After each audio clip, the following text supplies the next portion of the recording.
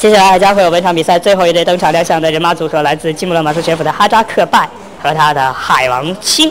那么三度登场亮相，期待一个完美的表现。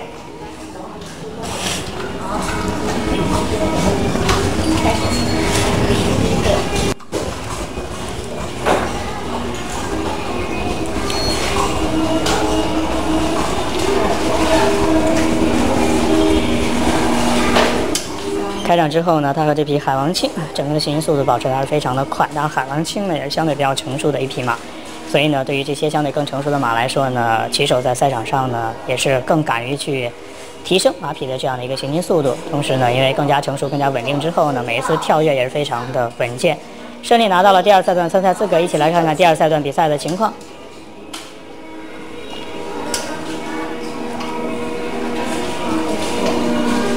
还剩下最后的三道障碍，一起来期待一下，看看能够最终以怎样的成绩完成本轮比赛的行进。最后两跳，目前行进速度保持的还是非常的快，主要也是一个小的回转路线。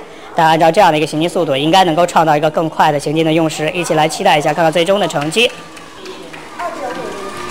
哈扎克拜和海王全行进时二十九秒五零，障碍罚分零分，时间罚分零。各位大佬，创作不易，给个三连吧，跪谢了。